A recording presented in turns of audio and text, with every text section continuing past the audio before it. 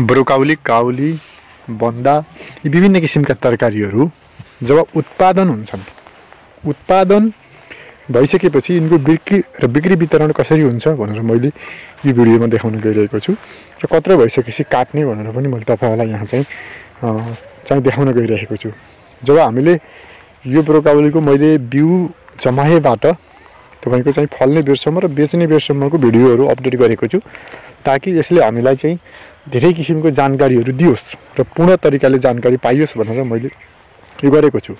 र ब्रोकाउली जब चाहिँ नि ठिक्क हुन्छ जब फक्रिँदैन अनि नफक्रिँदै अनि तपाईँको चाहिँ त्यो रातो रातो नहुँदै त्यो फुल खेल्न थाल्छ कि तोरीको जस्तो त्यो नहुँदै हामीले ठिक्क एउटा साइजको निस्किसकेपछि त्यसलाई हामीले काट्नुपर्छ। जब त्यो हल्का फिजानिन लाग्यो है अब भनेपछि त्यसलाई हामीले ठ्याक्क काट्नुपर्छ। काट्दाखेरि डाँठ अलिकति राखेर पातहरू थोत्थर राखेर हामीले राम्रोसँग काट्नुपर्छ। धेरै डाँठ राखियो भने पनि हाम्रो कस्टमरहरू चाहिँ किचकिच गर्ने बानी हुन्छ। धेरै डाँठ भयो भनेर। तर ब्रोकाउलीको एकदम फाइबर भएको हुँदा मैले ब्रोकाउलीको विषयमा ब्रोकाउली काउली र बन्दाको विषयमा धेरै फाइदाका कुराहरू पनि मैले बताएको थिएँ। यसका फाइदा बेफाइदा यसमा भिटामिन हुने कुराहरू। र यसको पातहरूमा डाँठहरूमा पनि एकदमै फाइबरहरू हुन्छ र धेरै किसिमको भिटामिनहरू यसमा पाइन्छ। यसरी हामीले काटिसकेपछि ठिक्क एउटा सही तरिकाले काटेपछि त्यसपछि हामीले यसलाई प्याक गर्छौँ। राम्रोसँग यसलाई प्याक गर्छौँ। र कोही बेला हामीले क्रेटमा प्याक गर्छौँ भने कोही बेला हामीले यसलाई झोलामा बोरामा पनि प्याक गर्छौँ। र यसरी प्याक गरेका छौँ अहिले हामीले क्रेटमा। र यो काठमाडौँ जाने गाडी हो। केही माल हामीले आज काठमाडौँ पठाउँदैछौँ क्रेटमा हालेर होइन। तपाईँको चाहिँ यसरी क्रेटमा हालेर पठाइन्छ। र त्यो चाहिँ काठमाडौँले नलगेको माल अथवा हामीले अथवा कुनै बेला चाहिँ काठमाडौँलाई दिँदा फाइदा हुन्छ भने कुनै बेला हामीले मन्डीमा हाल्छौँ कुनै बेला काठमाडौँ हाल्छौँ एकै ठाउँमा हामीले दिँदैनौँ। फरक फरक तरिकाले काम गरिन्छ। त्यसपछि यसरी रातारात हामीले चाहिँ माल पठाइन्छ।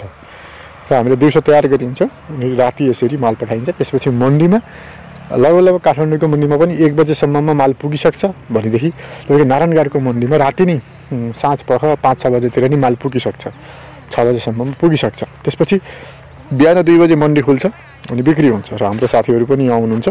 त्यसरी हामीले काबुली यसको धेरै काबुली काटिसकेका छौँ।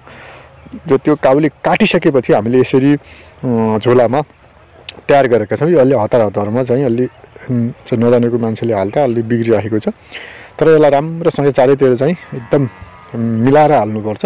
त्यसरी हाल्दा हामीले तिस बत्तिस किलो झोलामा आउट आउँछ भने अहिले चाहिँ पच्चिस छब्बिस किलोभन्दा यहाँ छैन यो अलि मिलाएर हालेको पाइएन अलि नजानेको मान्छेले हाल्नुभएको छ।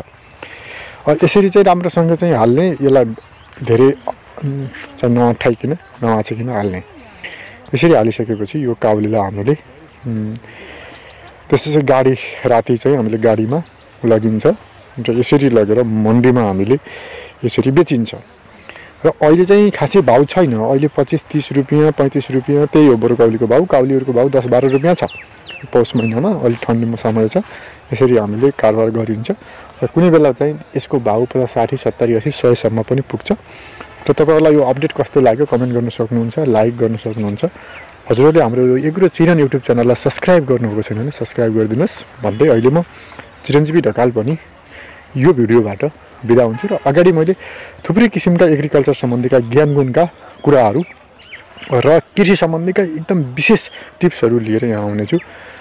धन्यवाद हजुरहरूले भिडियो अन्तिमसम्म हेरिदिनु भयो धेरै धेरै धन्यवाद।